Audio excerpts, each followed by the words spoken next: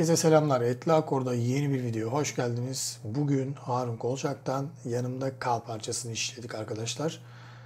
Ee, bu ara videolarda biraz gecikiyorum. Ameliyattı, yoğunluktu derken arayı biraz açtık. Kusura bakmayın.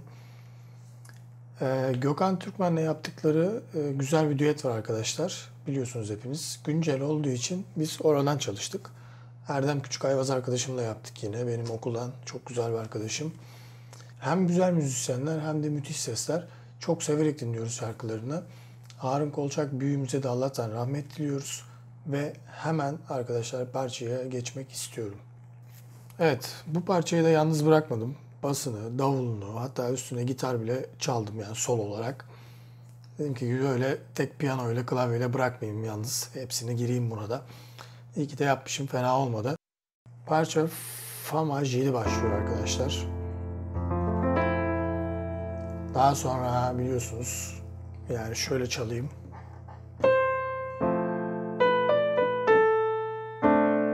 Yani böyle senkoplu geliyor.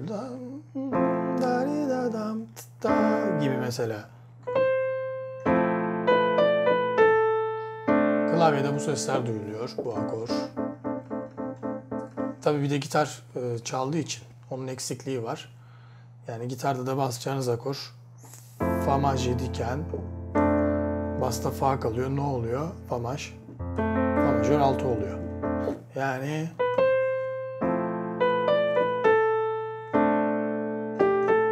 tekrar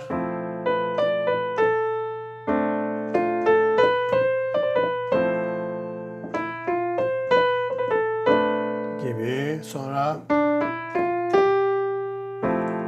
tekrar fa majör, fa majör 7. Burada elim 9'da kaldığı için 9'da veriyor. Tekrar. Burada da Do majör 7. Do maj 7. Bir daha çalalım yavaşça. Şöyle soloyu tizden alayım.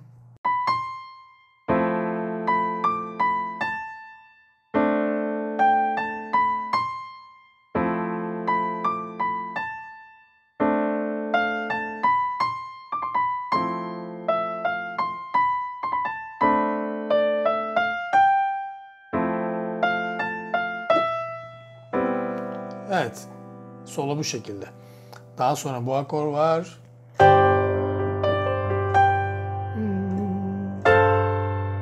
Gibi. Yani sol majör, sos 4, sus 4, sas 4. Her neyse işte. Sonra basımızda sol var. Sol 9. La biliyorsunuz solde 9'dur. Fa da 7'dir. Bir de ne var? 11'i var. Yani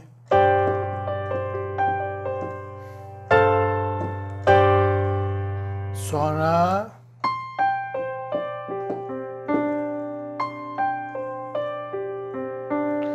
yani ne akor bu? Baktığımızda Sas 2. Sas 2 ile Sas 4 olayı da şudur arkadaşlar. Mesela Do, Mi, Sol. Değil mi? Do majör. Şimdi bu Mi nedir? 1, 3, 5 şeklinde kurulur ya akor. Üçüncü derecededir. Bunu 4'e getirdiğiniz zaman Sas 4 olur. Bunu 2'ye getirdiğiniz zaman Sas 2 olur. Bu da ufak bir bilgi olsun size, bilmeyenler için.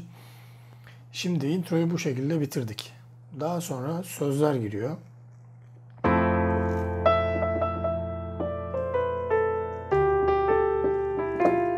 Biliyorsunuz. Sözleri siz takip edin. Burada seni, burada bir geçiş.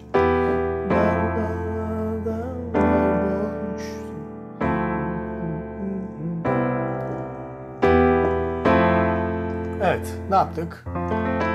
İlk sözler Famaj 7 ve savunmasız bir zamandı. Re minör 9 seni. Sonra mi minör geçiş. Mi minör böyle alabilirsiniz. Ben böyle alıyorum. Normalde mi minör 7 ama la'yı da etli akor yaparsak eğer la'yı alabiliriz. Yani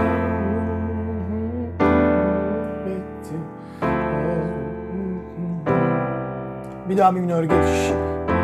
Sözlerin derken orası ama yazık değil mi bana tekrar mi minör geçiş burada artık bu akoru fa maj 7'yi artık böyle alabiliriz.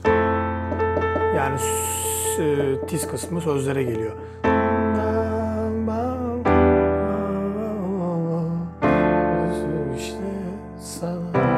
Sonra bir geçişle şöyle bu akor. Derken ister böyle ister böyle ister böyle daha da dolu olsun derseniz böyle ben abartmayayım şöyle çalalım Ee, nerede kaldık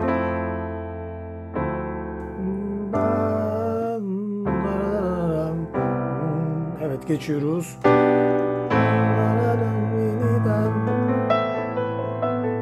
La minör 9 alabilirsiniz arkadaşlar. Bir parçada la minör var.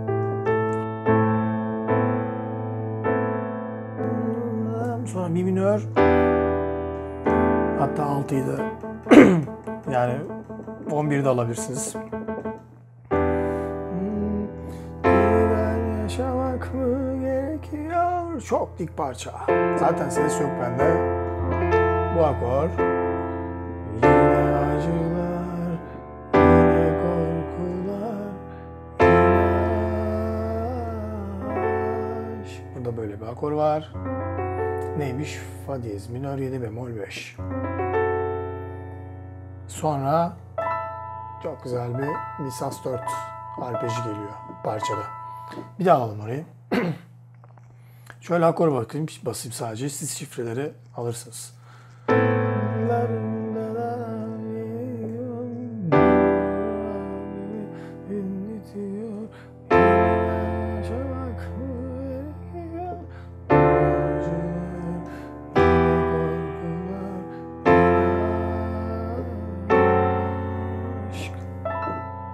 Geliyor tam. Sonra yanımda kal, yanımda kal. Böyle çalabilirsiniz.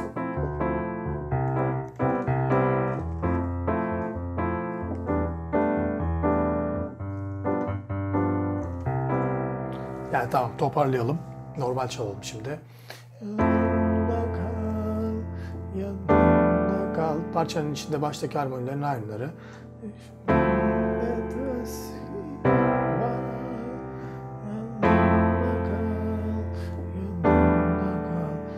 Çok geç rastladım sana gibi. İşte Bossa'da çalacaksınız az önce çaldığım gibi.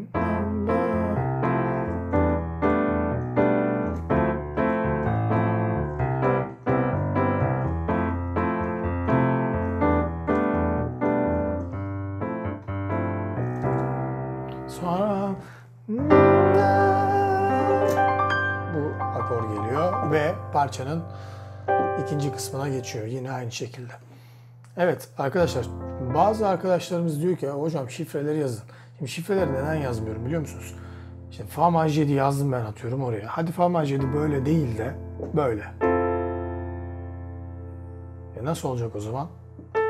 Yani ben burada size dikkatinizi çektiğim yer tizdeki ses arkadaşlar. Bu çok önemlidir. Yani fa majörü her türlü basabilirsiniz. Evet nedense orada video durdu arkadaşlar. Hemen tekrar geliyorum. Mesela fa maj 7 değil mi? 9'unu da koyarsak içine bakın böyle durum da var. Hatta 9'u koymayalım. Direkt fa maj 7 alalım. Görüyor musunuz? Bin bir türlü hali var. Yani oktavdaki tizlik dereceleri bile yani yükseklikleri bile önemlidir. Yani atıyorum parçada bu akor var ama biz bunu buradan bu oktavdan alamayız bu oktavdan. Neden? Cırtlıyor çünkü burada. Mi yani bağırıyor orada. Ama buradan alırsak ne olur? Böyle. Peki baş la'da olsaydı ne olacaktı? Tizdeki sesi ben fa maj 7 yazdım. Siz böyle basanlarınız olacaktı. Ama o zaman o tadı vermez ki. Ne yapacaksınız fa maj 7 dediği zaman? E, tizde eğer la varsa onu böyle alacaksınız. Bunlar çok önemlidir. Yani nedir bu? Çevrimidir. Veyahut böyle. Ne yapıyorsunuz? Bildiğiniz la minör solda sol elde fa. O yüzden şifreleri yazıp e, duyumunuzu yani duyumun değişmesini çok istemiyorum parçada. Yani fa majedi ise bu fa majedi. Re minör 9 ise bu re minör 9. Bu değil. Ya da bu değil. Gibi yani. Bu.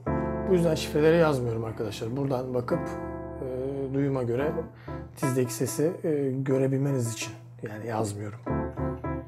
Mesela ne var başka? Do maj 7. Şimdi do maj 7'yi böyle basarsanız bir parçanın özelliğini vermez orada. Nerede orası? Mesela yanında kal, yanında kal.